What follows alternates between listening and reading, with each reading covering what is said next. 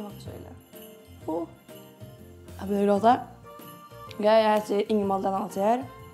Oh. Fra hvilket dyr kommer pinnekjøtt? Eh, reinsdyr. OK. Å, fy faen.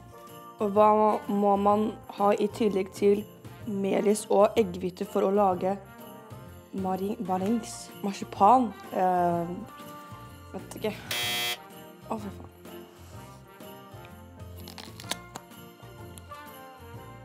For den gangen. Å, jeg svelgte feil. Oh. Hva heter hesten i sangen Bjelleklang? Blæ. Bjelleklang. Den har jo ikke noe navn! Oi, hva er dette for noe? I hvilken norsk film møter vi prinsessen, prinsesse Gulltopp? Reisen til julestjernen? Er det siste? Ja. Uh, hvilken Jo, hvilken gaver ga man tre vise menn til, jul, til Jesus?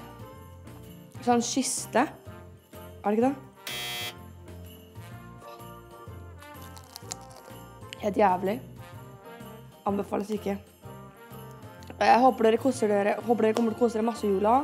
Spise digg mat og åpne gaver med familien deres. Og alle dere skal være med. Og ja, egentlig kos dere masse i jula. Ha det veldig fint. Oh.